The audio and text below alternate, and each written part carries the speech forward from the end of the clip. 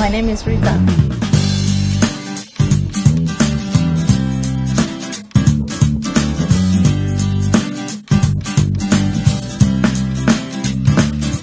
I started to paint when I was very little. My mom come from La Digue. It's what my culture bring to me. And when I uh, was uh, in primary school, I was very interested in, in art. But when I came to secondary, I did my studied I studied art. But uh, for me, art is everything.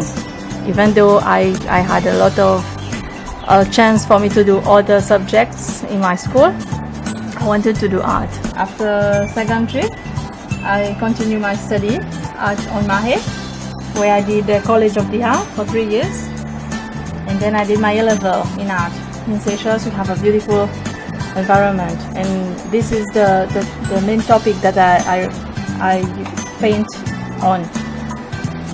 And especially, I'm very interested with endemic species of our, of, of our island.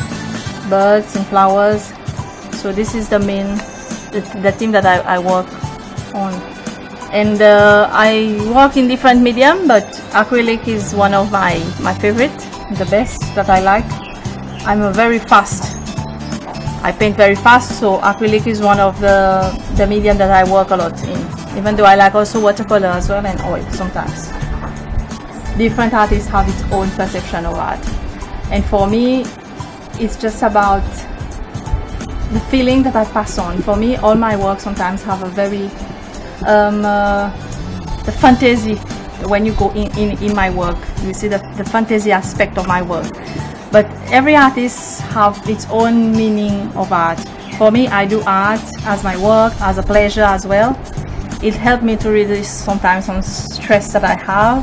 I paint with inspiration sometimes, even though uh, so there's some clients that say I want um, this or that, but for me to do an artwork, it's all about the inspiration.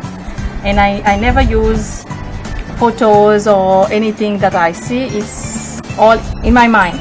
I do what is in it's in my head for me to do the inspiration that I have to do.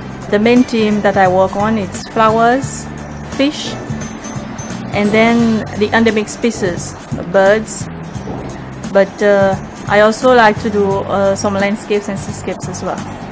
For me, my paintings is very different from others. Like I said, um, I don't like to copy photos that I see in books and magazines because other artists will do the same. For example, now I'm painting on Source d'Argent. It's in my mind, but there is things that I maybe I will I will add or remove that are not there actually.